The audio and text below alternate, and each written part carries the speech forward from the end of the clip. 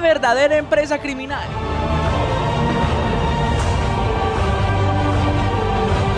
Resultaron ser los delincuentes que quedaron grabados en las cámaras de seguridad de una vivienda en el barrio San José, donde su propietario, a tiros, frustró el robo.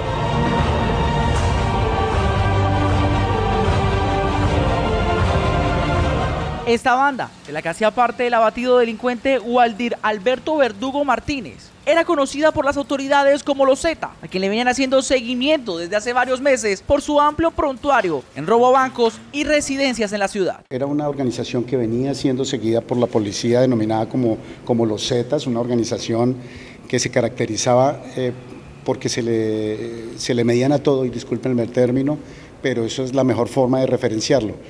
Eh, eh, iban desde atracos comunes a través de, de los conocidos fleteos, están comprometidos en hurtos bancarios, en hurto a residencias. Según la policía, los integrantes de esta banda estarían señalados de delitos que van desde el hurto, el microtráfico de drogas y hasta homicidio.